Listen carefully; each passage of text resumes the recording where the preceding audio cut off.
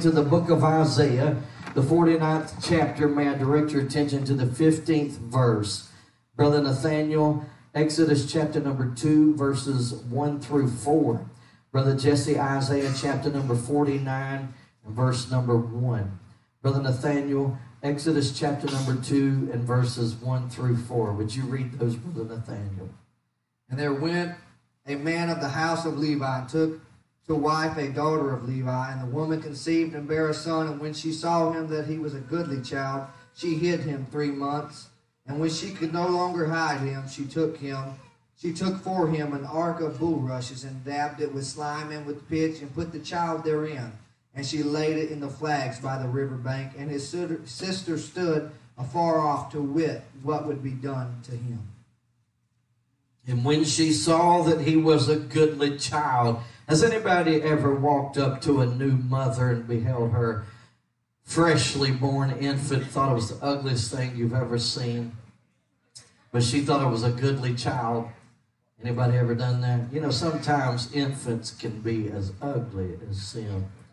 Our brother Jesse says his firstborn son was an ugly baby. You look at brother Micah, though, right now, he's a handsome young man.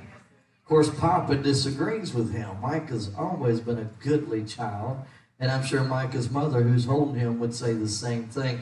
And every mother feels like their child is a goodly child. Amen.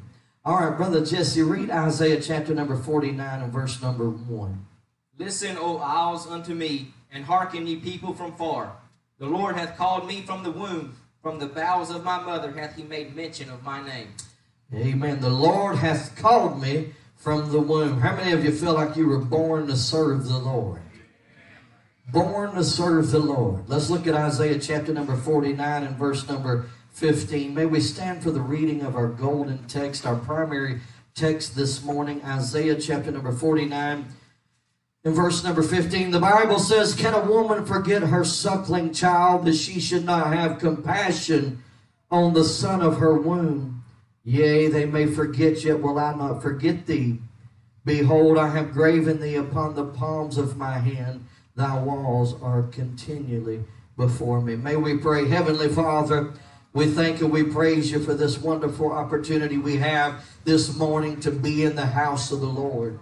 God, undoubtedly our spirits have been touched by the Spirit of God, the good Holy Ghost. I pray that you would anoint this thy servant, set a guard at my mouth. Help me to say only the things you would have me to say, nothing more or less. Anoint the ears of this thy people. Help them to hear what the Spirit saith unto the church this day through the word of God. Lord, it's not by our might nor by power, but by thy Spirit. We thank you for your Spirit that we feel. We pray that you would allow the sayings of this blessed book and this preached word to go down into the heart, going beyond and below the shoulders. Help us not to depart this place sorrowfully but joyfully. In Jesus' name, amen. Our text is found in the Old Testament book of the Bible, namely Isaiah.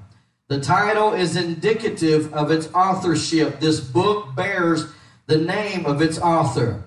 And after reading the book of Isaiah, the reader understands that the prophet was doing everything he could to turn his people around. The Jewish people had been a people that were specially selected and chosen by God to be called the children of the Most High God. They were the descendants or the offspring of a man called Abraham and a woman called Sarah. Everything God tried to do for these people comes straight out of a heart that was warm towards these people. No doubt that the same God that beheld humanity and dispatched his only Son into this old wicked world to save whomsoever would be saved. No doubt at this time the Lord was doing everything he could to rescue his people from these places that they had become to live in. We know that the Jewish people at this time, they're facing captivity. This man named Isaiah has been born to be a deliverer. His name means salvation. This man was born on a mission. Undoubtedly, this man was born on a mission to save his brothers and sisters. We know that the Lord God Almighty gave Cain a brother named Abel. And Cain one time failed his commission. It was his commission to be his brother's keeper. And after smiting his brother unto the death and shedding innocent blood, Cain asked the Lord the question, Am I my brother's keeper? No doubt, even though the Cain had somewhat neglected his duty as a brother's keeper, Isaiah is one that has been born with a burden, a baby that has been born on a mission to help rescue his people. How many of you all can sense, especially in this hour, that there is much turmoil in the land? There's much civil unrest, there's much perplexity, there's a lot of people that are troubled on every hand, there's uncertainty. We don't even know what the year 2022 holds for us. We must confess that the year 2021 was better than what we expected. We didn't expect it to go very well, but God was good to us. And we have found that God is a father like no other father. And in our text here this morning, we find that this mother represents God or the nature of God. And I believe that this man Isaiah was a preacher, Brother Jeremiah, that would not rest well day or night until he had delivered the burden of his soul. Isaiah saw that these people weren't in their rightful places. They were not in the hands of God where God desired them to be. And we see that because of this, they sense that they do not have national security. They sense that there's an emptiness and a void in their personal beings. And because of this emptiness and this void, they begin to try to form peace treaties. Just like this world is doing today. This is a world that cries peace and safety. But we know looming on the horizon is sudden destruction and the imminent danger is upon us. And we need salvation. We need, a, we need a deliverer, not only for our spiritual being and our soul, but we need a deliverer for our nation. We need a deliverer for our nation. This man Isaiah was a man that believed that God could deliver these people from the threat of being taken into captivity. However, the Bible teaches us that because the people would not heed and regard the preached word of God, they were taken into captivity for some time, and there was a remnant that was spared. Now, I can't control what my brothers and sisters, earth's inhabitants, are doing, but I can control what I'm doing. And I can try to preach to you to help you control what you're doing. And I can see to it that my children are putting their feet in steps that are following the Lord, and steps that are ordered of the Lord. And I feel like it's the will of God this morning that we be in a place called the house of faith, the house of prayer, with brothers and sisters, for it is in this kind of place that we have seen revivals birthed in our nation. It could be that right here in LaBelle, Florida, at the Bethel Holiness Church, 1153 Cornelia Drive, LaBelle, Florida, across the street from Fire Forest, where prayer is made day and night for our people, for our community, for our government and our leaders, without fear or favor, without respect of person. We pray without ceasing for an end time revival. I know that we could be busy trying to become part of the ecumenical church movement. We could become busy trying to help the spirit of Antichrist bring about a peace that is impossible to bring about. And you know, the nation of Israel at this time, they're doing everything they can, Brother Wood, to forge an alliance with Egypt. They're also trying to forge an alliance with Syria. These are pagan Gentile nations, people that want nothing to do with Jehovah God. They want nothing to do with the temples of God. They want nothing to do with the commandments of God. They disregard every spoken mandate of God, every written precept. They disregard it. But this man, he does what he can to remind his people that they that cover their sin shall not prosper, but whosoever confesseth and forsaketh them shall find mercy. And he begins to encourage them to humble themselves under the mighty hand of God that they might again be exalted as a nation and as the people of God.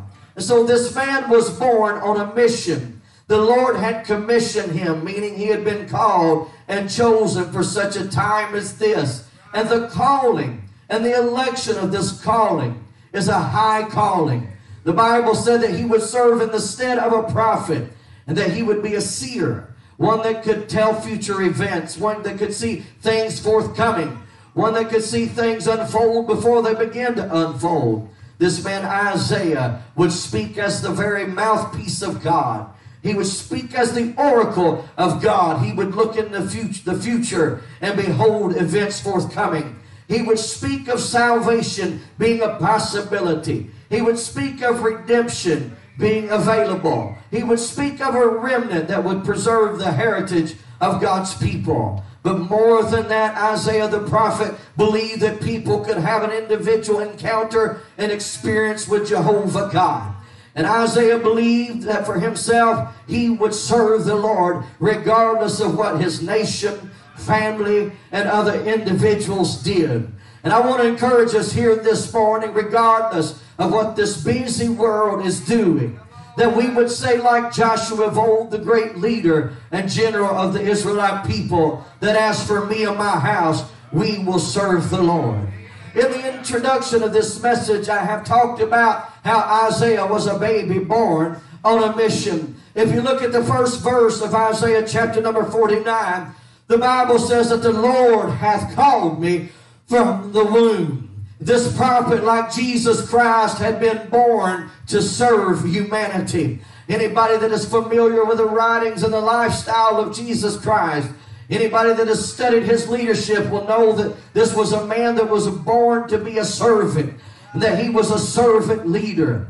In Mark chapter number 10 and verse number 45, John Mark penned the words that the Lord Jesus Christ states his mission on purpose. The Bible said, For even the Son of Man came not to be ministered unto, but to minister and to give his life for a ransom for many. Do you know why John Mark noted that? Because John Mark noticed that Jesus Christ was willing to die for his children. For God so loved the world that he gave his only begotten Son, that whosoever believeth in him should not perish, but have everlasting life. So God himself laid down his life that we might live just like a mother would lay down her life that that child might live. I want you to look at your neighbor and say, hey neighbor, I was born to help somebody.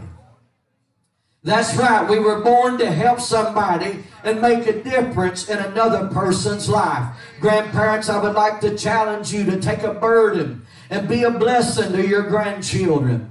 Grandchildren, I would like for you to take a burden and be a blessing to your grandparents, moms and dads. I would like for you to take a burden, bear your neighbor's burden. I would like for you to enter the prayer closet and pray one for another because truly we are living in perilous times, just like Apostle Paul warned us that we would be living in. We look around and we survey the things that are going on, Brother Jesse. And I realize that this is a perilous time for us to be raising children in. I know that I've heard Sister Wooten testify many times in the last 15 years, Brother Jacob, and she has said, I'm so thankful that I've raised my children and that I'm not raising children in this current generation. But you know, I want to encourage the moms and dads this morning that with God, you can raise God fearing children in the midst of a sin cursed and perverse generation. I believe that we can help somebody and we can help our families, individuals, and our nations. And that's right, we were born to help somebody. We were all born on a mission to make a difference in somebody's life. Our primary text speaks of a child of the womb. My wife and I have six children, five boys and one girl. They have been children of my wife's womb. Our text says in Isaiah 49 and verse number 15, Can a woman forget her suckling child that she should not have compassion on the son of her womb? Yea, they may forget, yet will I not forget thee. I would like to answer the great prophet Isaiah in the year 2022. Yes, a woman can forget her nursing child. But I'm so thankful that the Lord speaks concerning God fearing mothers and godly parents that would not forget their nursing children. In this building today, Sister Howell and I have three daughter in laws who have babies under the ages of nine months. In our text, we see the heart of a mother and we see the nature of God. In this building, we see the hearts of many mothers and we see the nature of God. In this building this morning, we see the hearts of many ministers and ministries, and thus we see the nature of God. This morning in this very service, if you listen carefully, as you're in the womb of this world, and more specifically in the womb of the church, his bride, you can hear the heartbeat of God. You can feel the heartbeat of love. You can feel security. You can feel the power and the presence of God. If you look at verse number 14 before our text, the Bible is speaking of Zion or Jerusalem, the city of peace, the chief city of the Israelis. It says that Zion is speaking perversely, accusing God of forsaking them. Verse number 15, our text lets us know that most, not all mothers, are able to not only forsake their children, but to forget them. And I'm so thankful that my Lord promised me that He would never leave me nor forsake me. I know when I've raised them five sons, there's been times that I've sensed the devil pulling for them, Sister Harrison. And I realize that if they made one wrong decision, made one bad choice, Brother Chris, that they would go into a foreign country and, and get a distance between them and God. And, I always let them know that no matter how far they run and how far they go, that this father's love would not be any less than the prodigal son's father's love that my heart would beat for them. One of my sons came to me a couple months ago and he said, Dad, I'm convinced if I was a drunk laying on one of the shrimp boats of Fort Myers dock there at the port, he said, every night I'm sure that you would come to the dock and stand there and check on me and make sure that I'm okay. You see, I've tried to demonstrate my unconditional love to my children. And my wife has tried to demonstrate her unconditional love for our children. I want you to notice that this is a nursing child. The Bible said that this child is drawing nutrients from its mother. It's the desire of most mothers to see to it that their children are fed, that they develop, grow, and mature. You see, a mother's desire is to see her child survive, not die. That's God's desire for humanity. God is not willing that any would be deceived. God is not willing that any should perish, but He wants all to come to the knowledge of repentance and live eternally. I know that there's been times mothers have watched their children err and go aside and leave the doctrines of truth and the ways of Jesus Christ, and they found their sons behind prison bars. As they approach the place of their children's imprisonment, they look at white knuckles on the other side of them bars. And, and, and Brother Roadcap, no doubt those men are remorseful and full of regret that their loving mother would find them in conditions like this. But there's been criminals, serial killers, rapists, thieves, burglars, adulterers, all kind of people that mothers, yes, were disappointed in, but those people never questioned the love of their mother. You see, the mother loved them unconditionally, even though society as a whole hated them. These children were talked about, their names were blazed upon headlines of newspapers, people and protesters stood outside of courts and, and demanded that that child be executed. But there were mothers that were doing what they could to be beside their children.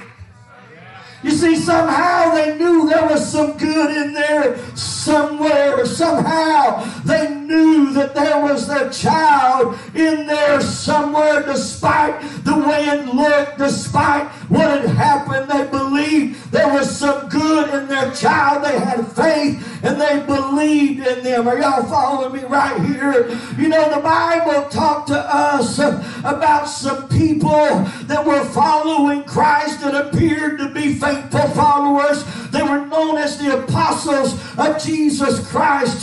But when hard times came, perplexities and difficult situations begin to happen, you know what the Bible said? They begin to distance themselves from Jesus. They put a distance between them and Jesus, and they served God at a guilty distance. But there was somebody, the Bible said, that was not too far off every step of the way, and her name was Mary.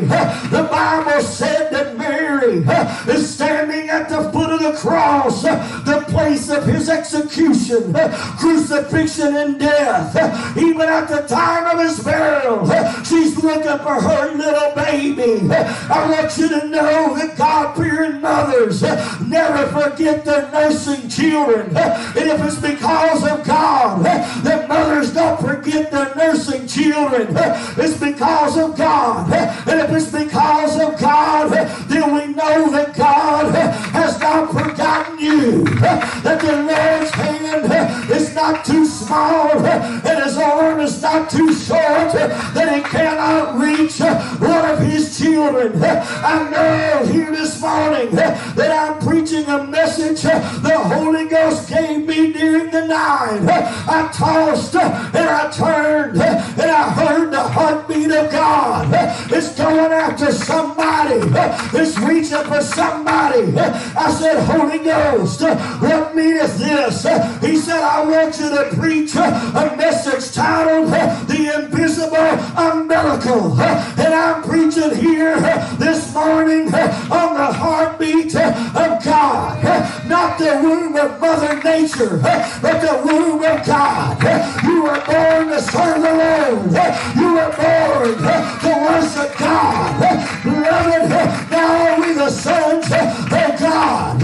And maybe there's a distance between you and God. Maybe you don't feel like you measure up for the standard of God's lifestyle for people. But I want you to know God is mindful of each one in this building. You say, Well, I've been cussing like a sailor. I said it a little while ago. My son said if I was a sailor and laying drunken on a dock and had been cussing for hours before I passed out, I know my daddy would come to that dock to check on me. And the Holy Ghost has moved on me. And I tossed and turned all night as I heard the heartbeat of God. As we get older, things begin to separate us. And there's a distance, you know, when that child, Brother Dylan, is in the womb of its mother and he hears guttural noises, it hears abdominal noises, it hears life itself. Y'all know what I'm saying. It hears the liver quiver. It hears the kidneys and the bladder function. But most importantly, it hears the heartbeat of that mother. That baby knows that mother before it ever comes into this world. And once that baby comes in to this world, there's something still attaching it to its mother. It's called the umbilical cord. You see, a newborn's umbilical cord typically falls off within two weeks of birth. What is an umbilical cord? Some of these children are thinking the umbilical cord is the baby's lifeline to the mother during pregnancy. And once the baby is born, the invisible lifeline is no longer needed. Are y'all getting this right here in this building? You know, there's a physical umbilical cord that's apparent, and they pull out the scissors or the shears and they detach that baby from that mother that it might become an entity, that it might become independent, but there's still an invisible lifeline. Even though the physical umbilical cord is detached, there is still an invisible lifeline that wants to provide nutrients and nourishment for that baby, no matter how old it gets. Y'all ready to go home or do y'all want me to keep preaching? Huh? I was born to help somebody. I was born to serve the Lord. Our brother read to us from Exodus chapter number 2 and verse number one through four. And you know what, Brother Nathaniel? I believe it was you that read those scriptures. You talked about a sister to Moses, namely Miriam, that was standing afar off, wondering what would happen to Jochebed's baby, her baby brother. You see, the mother of Moses, Jochebed, had Moses' older sister looking out for him as he floated among the reeds in the Nile River. I remember when I was a prodigal son 25 years ago. No doubt, Brother Jesse, this world has set me down. Of course, it was uncharted territory. You know, the Nile River is known to be possessed and literally controlled by something called crocodiles. They rule the river. When they're in a specific location, man or beast does not enter there. But this woman has to put her baby in a bulrush, in an ark of bulrushes, and lay it up in the reeds in the Nile River. Brother Jeremiah, this generation that accepts abortion, they would not let the least bit be concerned of this child's well-being. But this mother knows that it will be obvious if she sits on the bank uh, and watches this ark of bulrushes. Uh, she can't go, uh, but she makes sure that somebody can go. In church, Jesus Christ himself cannot come in this building this morning, but God sent me like Miriam to watch over your soul. The Bible said, pray for your pastor and your minister as those that watch over your soul. I know that the adversary is doing everything he can to consume your innocence, to consume your life. But I want you to know there's somebody looking out for your soul. I feel a preacher right here. So Miriam doesn't want anything whatsoever to happen to her baby brother. Brother Micah's got a baby brother now. If you look at the second pew over here on my left hand side, you'll see Micah David Howell, and you'll see Malachi Obadiah Howell. Now, I don't know the age difference right now between Miriam and Moses, but obviously Moses' mother could trust her to be kind of an Isaiah, a seer, somebody overlooking things. You ever seen somebody that's about to cross the street and you knew, Brother Jeremiah, that they had surveyed things properly and there's a vehicle coming, but because somebody's a seer, they can see something coming that they didn't see and they saved them. That's why I'm so glad I go to church routinely multiple times a week because sometimes the devil, he's got us zeroed in and he's doing everything he can to destroy us. I wonder how many times did the crocodile head towards the cry of that bulrush? Hey, come on. You know what they said? Curiosity killed the cat. What about the crocodile? As the baby cried in that ark of safety, in that ark of bulrushes, how many of them 15 feet long crocodiles begin to check things out. Come on, church. You all know we better be careful in this world because the Bible said the devil is seeking whom he may devour. It would have been so easy for the jaws of that crocodile to snap the bulrushes and to snap that baby in two. But there was somebody watching over that little baby. And how many of us have been the product of a mother and a father. When I was a prodigal son 25 years ago, I knew somebody had been praying for me. That somebody cared for my soul. At a point in David's life, he mistakenly spoke. He said, erroneously, he stated, Nobody cared for my soul.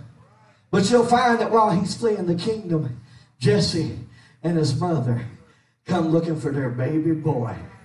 He's been king of Israel. He should be able to take care of himself. But I don't know about you, but I think it'd been great, Brother Chris, to look over my shoulder and see Brother Jesse and Mama Jesse coming to make sure, you know, Jesse and David's mama liked to send him cheese and breads to the boys as they was fighting in the valley. Y'all remember that? I imagine mama came with a basket of goodies because it doesn't matter if your child is the drunk on the dock in Fort Myers or if your child is the king of Israel. You can't keep a mother from her baby. And I want to tell each one of us here this morning, no matter what we've done, no matter how far we've run, you can't keep God from yourself. The Bible said, if I make my bed in the belly of hell, thou art with me. Thou art there. David said, Yea, though I walk through the valley of the shadow of death, thou art with me. You see, I believe that this mother was doing what she could to look after Moses. And you know, the Bible said that she raised some great people, some God fearing people, namely Aaron, the great prophet and priest of the Most High God, the wonderful praise leader, worship leader, singer Miriam. She's a child of Jochebed. But what about Moses, the man of the book, Moses, we all know the story of Moses, how he began to cry in that ark of bulrushes. Now, my daughter in laws that's got those babies under the age of three months knows that about every month their physical appearance changes, their disposition, demeanor changes. They go from being a sweet, quiet, innocent baby that Papa says never cries to their mothers walking into church wild-eyed, hair frayed, and say that baby's been crying all night, all week long. And they wonder what's wrong with the baby and what's wrong with them. Well, the Bible said that Moses' mother, after three months of hiding him in the house, she should have known he was going to be a loudmouth preacher. She couldn't hide him in the house no more. No matter how much she sang Mary had a little lamb. No matter how much she sang Jesus loves me. No matter how much she cradled and tried to conceal, the baby's got to come off the umbilical. And it's got to depend upon the invisible lifeline. And she takes that baby after three months and puts it in the ark of safety. You know what the Bible says? Not by coincidence, but by providence. They planted that baby in the bathtub of Pharaoh's daughter. And she heard the crying of that baby. Oh, I'm telling somebody, God's heard your heart cry. God's heard you at night as you prayed and said, Lord, be still. Care about me. Lord, is it possible for us to get back to God? Woo! So she takes that baby. Are y'all with me right here? Up out of the water. And she names it. Jochebed didn't name it. Pharaoh's daughter named it. Now you tell me God's not in this situation. She names it drawn out. Drawn out. Pulled out of harm's way. I believe that Sister Jochebed was back there in the village of the Hebrews down there in the land of Goshen. Brother Jesse, I believe she was in there washing some clothes on the washboard while Moses' father made some brick. And she's got a hold of that invisible lifeline. And at that moment, the Spirit of God is moving upon her. And she's praying and saying, God, pull him out. God, deliver my baby. God does not only deliver the baby, but God sends the most powerful woman. I mean, the queen herself ain't as powerful as this. Everybody knows that a man's daughter is powerful. If there's anybody that can disregard and disobey the mandates of daddy, it's this princess. Huh? She pulls that baby up out of the water and it's a crying and she says, I'm going to call it Moses. And so Jochebed disobeyed Pharaoh's orders because Pharaoh had told him to destroy all of the Hebrew babies. All of them infants were to be thrown into the Nile River. You see, just the cry would have incited the crocodile. Just the splash. They were familiar with the sound and the noises. Just the fact that the baby was there. It was imminent danger. It was damnation. It was destruction. Yeah, God knows what we're up against. Yeah, God knows what we're facing. But God's got an ark of safety called the church. It's built reed by reed, person by person. It is a house of safety. So Jochebed disobeyed Pharaoh's order, and Pharaoh's daughter disobeyed Pharaoh's order to destroy the Hebrew baby boys. So neither one of them are wanting to destroy this child because it's the heartbeat of a mother. Once they get that baby in their hands, are y'all listening?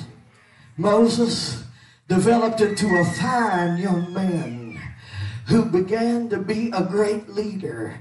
And he had some awesome qualities and skills. Would y'all notice with me that Jochebed had to sever the umbilical cord? Would y'all notice with me that even Pharaoh's daughter had to sever the umbilical cord? She's holding that baby. She's a virgin daughter of the Pharaoh of Egypt. She's not a wet nurse. She's unable to provide. Hey, this is people of antiquity. They couldn't go down to the convenience store or to the grocery store and get Enfamil and a nipple. And so here's this crying baby, and she says, I can't do nothing with it. And all of a sudden, Miriam peeks through the shrubs and the bulrushes, and she says, Would you like me to go get a mother? Just a mother? Just a mother, you know, just a mother. One of them, it looks like a Hebrew baby, kind of looks like us. Yeah. Would you like me to go get a mommy for it that can feed it, take care of it until the child is weaned? And Pharaoh's daughter loved the child enough, Brother Roadcap, to say, yeah, we'll cut the umbilical as much as I love it. I want it to live. And don't sound like them two mothers that were fussing and fighting in the courts of Solomon, right? One of was the real mother, and one of was not the mother. One them said, go ahead and cut the baby in half. I'm not talking about cutting the baby in half. I'm talking about there comes a time when God cuts the cord to see if we'll stay attached to the invisible lifeline.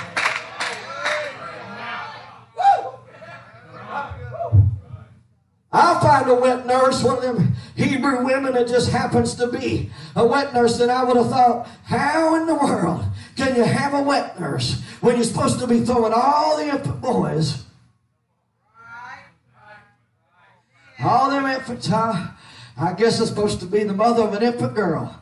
But nevertheless, here comes Miriam home, and Jochebed's doing the chores, and she sees a baby in the arms of the Miriam. And Miriam says, Mama, guess who I got? I feel the Holy Ghost in this house. Mama, guess who I got? I know who you got. I recognize the cry of my baby. Huh? God knows his children.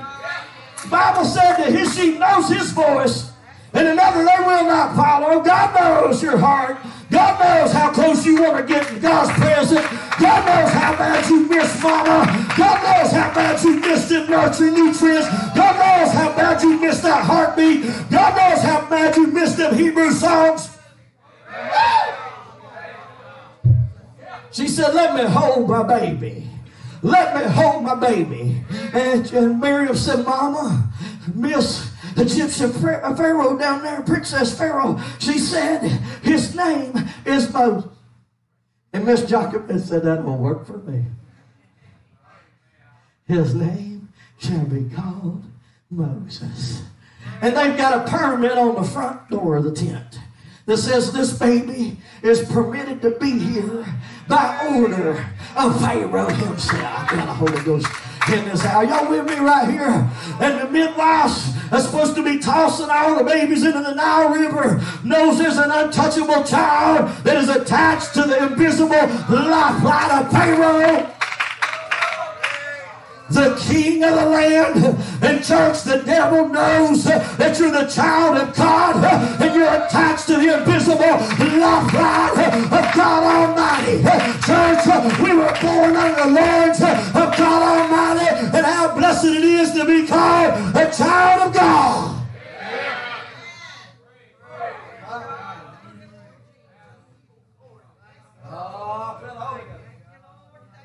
And you know what? As Moses got older, Jochebed had to release him to go back to Pharaoh's house because the princess had forgot the one she loves. Are y'all getting this? I mean, this is a loved baby. This baby is loved, and they're both mothers are having to separate from it so it'll survive. And God has to be detached from us physically. I wish God was here this morning. I really do. And I wish he was doing the preaching, and I'm trying to let him preach through me.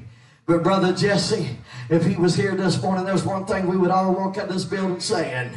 God was here and we felt his love, and I feel like we feel the love of God right here in this building. And you know, Jochebed one time was visited by the Egyptian princess that sent Moses to live in the house of Pharaoh's daughter. But we got to move on here for the sake of time. It's taco time. But, but you know, there come a time that Moses got to looking at his skin tone. The Bible said he'd walk out there to that little village and look at his people. And he realized and figured out those are my people, not the Egyptian people. So I think one day maybe Miss Pharaoh Egyptian daughter got on to Moses, and Moses spun on his heels, and with a smart aleck comment, he said, You ain't my mama.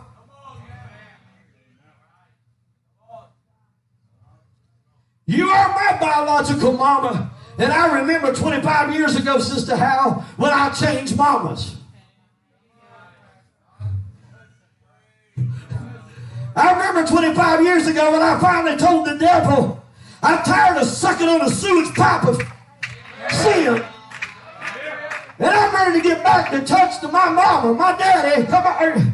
Oh, I feel the Holy Ghost in this place. I don't want to ever be detached or severed from this umbilical cord called the invisible lifeline. I thank God for every time the Holy Ghost moves. I thank God for every time I feel the Spirit of God. I just cannot get enough of it. You know God wants his best for all of his children. There's not one of us has to stand at the end of the line. We're all front of the line children.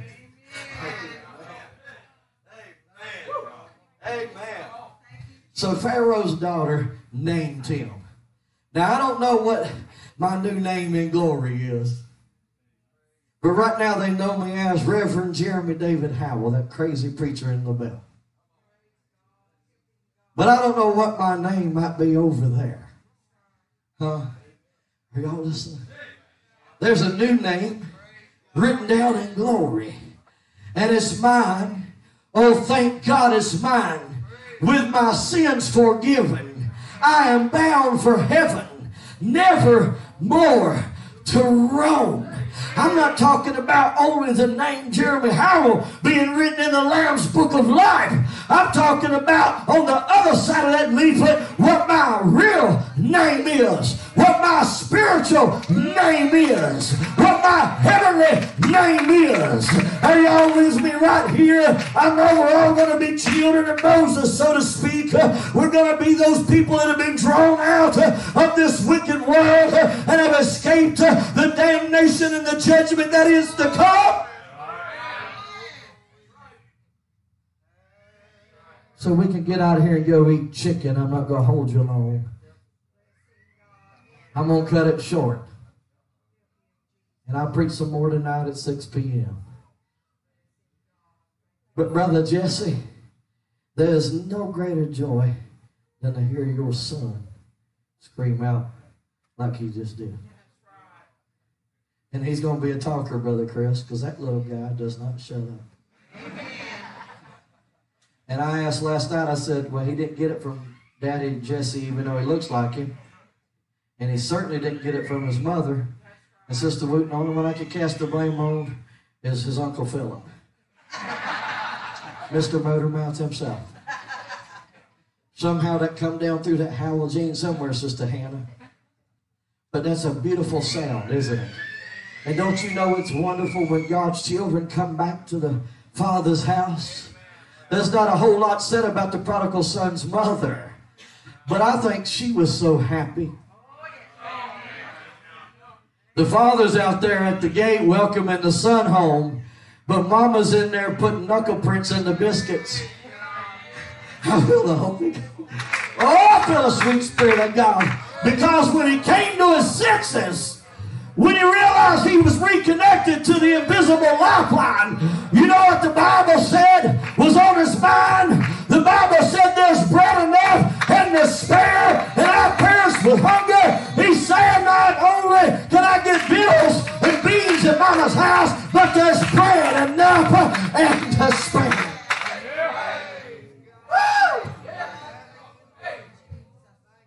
At mama's house, there's coconut cream pie. Woo! So we're getting spiritual right here, right now. At mama's house, there's pumpkin cheesecake. At the father's house, right here this morning. Right here this morning, has anybody felt any nutrients come through the invisible lifeline? I remember, Brother Roquette, when I was lost and undone without God and the Son, and there was an emptiness and a void in the pit of my stomach. And I remember when I was dissatisfied with everything this world had. But once I got hooked back to the invisible lifeline, if I cried, the Lord was there. The Bible said, one of the psalmists penned the lyrics. He said, This poor man cried, and the Lord heard him and delivered him out of all of his troubles. I want to say that again. One of the psalmists penned the lyrics. This poor man cried, and the Lord heard him and delivered him out of all troubles. When I cry, the Lord hears. Hey, come on, church. My God is mindful of us.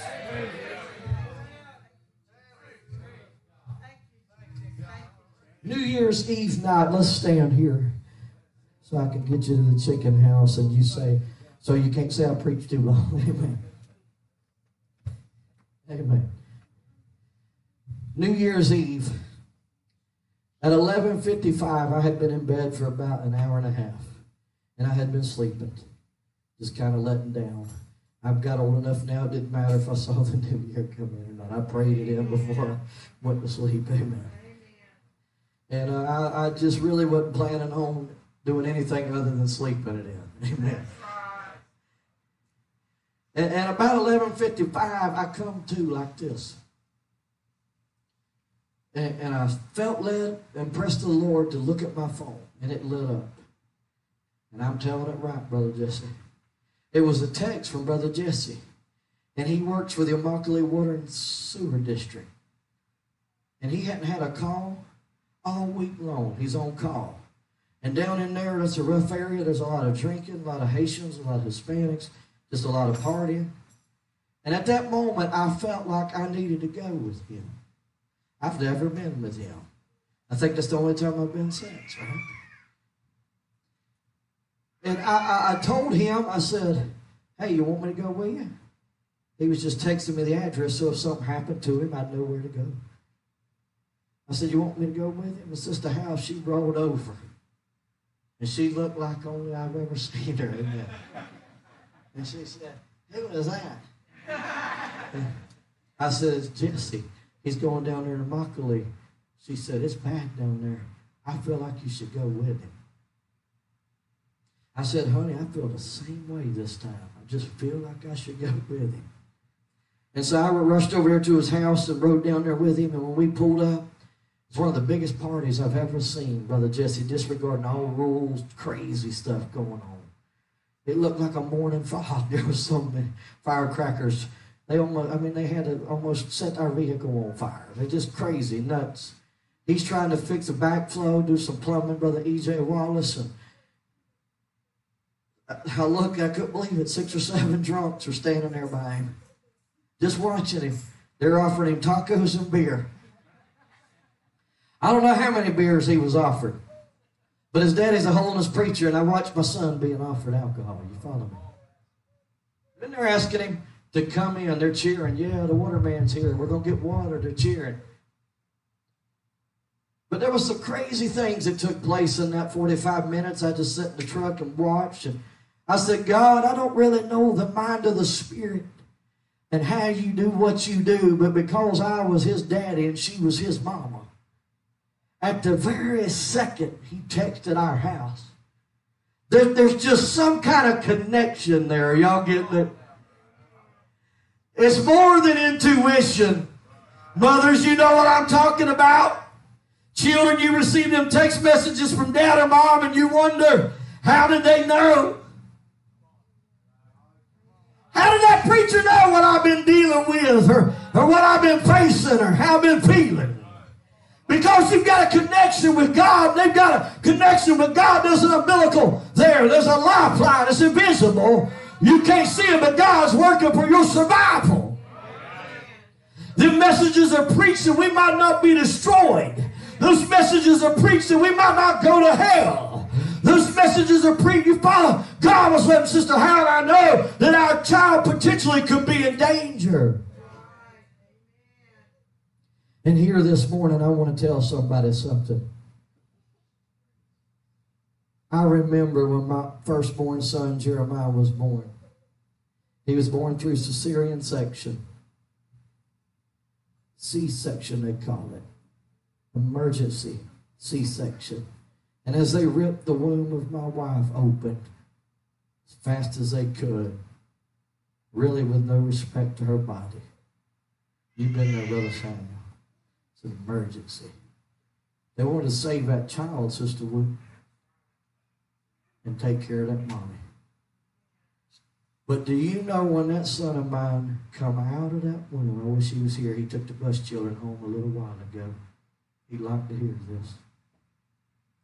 When he came out of that womb, and I heard a half a second of a cry, I lost my breath.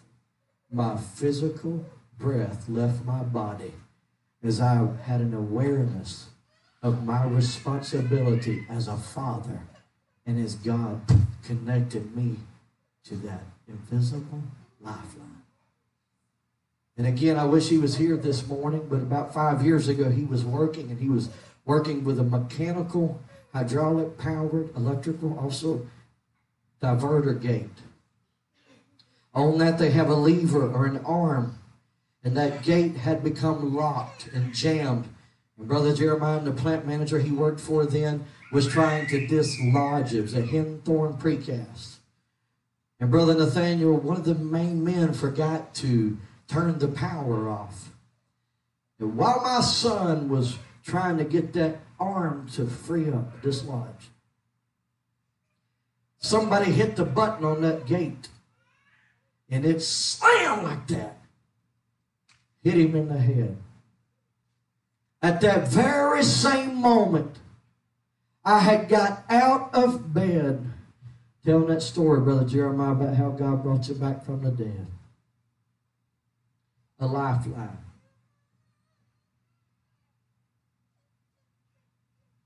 All you remember was being hit.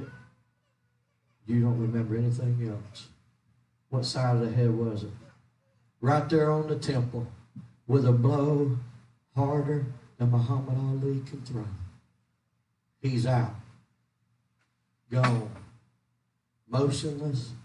Appears to be lifeless the staff and faculty, they panic. They, they're so concerned and worried, they don't even call 911. He's laying there, brother, for a couple minutes before they can collect their thoughts. You see, they weren't attached to that invisible lifeline, and his life's leaving his body. But over there, the 3180 Fussell Grade Road, there's a daddy about 6.45, rolls out of bed, starts weeping and crying in the spirit.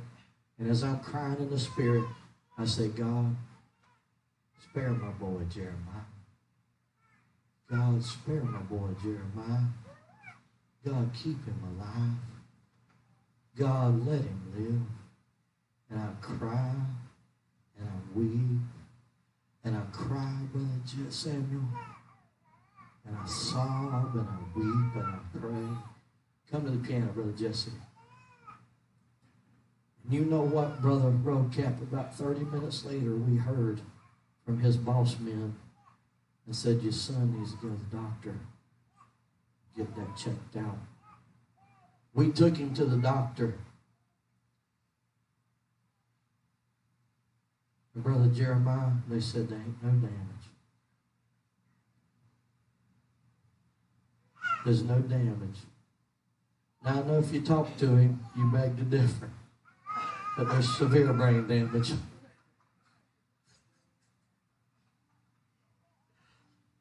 Now this old boy's a sharp one. He's smart. So now he's the plant manager. That's how smart he is. Does anybody feel the love of God here this morning?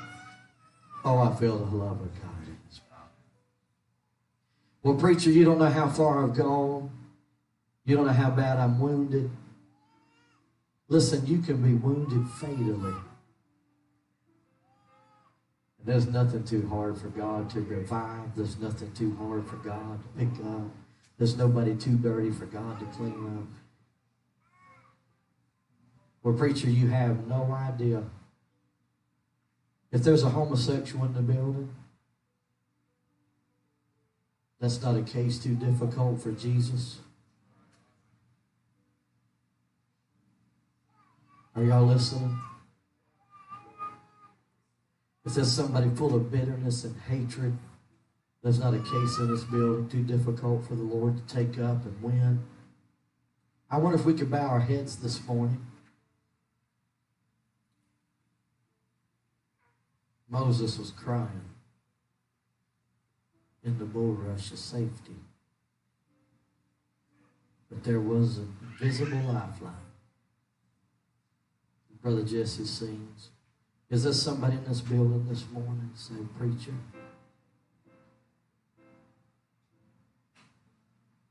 There's nothing in the world better than being attached to this invisible lifeline. Would you raise your hand and say, I want to make sure I'm attached? There's one hand, two hands, three hands, four hands, five hands, six hands, seven hands, eight hands. I'd like to ask everybody in the building, if you would, to come to the front and let's pray. The Spirit of God is moving, tears are flowing down faces, hearts are broken. God's helping us right here. There's nothing in the world like being attached to this lifeline. I thank God for the lifeline. If you feel like praying with somebody, pray with them. I am my brother's keeper.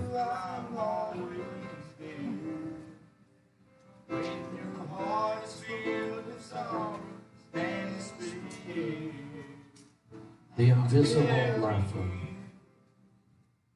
You need a friend. You find life with grace.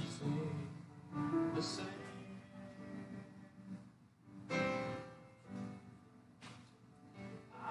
Promise you I'm always there. When your heart's full of sorrow and despair, and I'll carry you when you need a friend. Oh, God has not forgotten you. You'll find life with grace. God has not forgotten me. God has not forsaken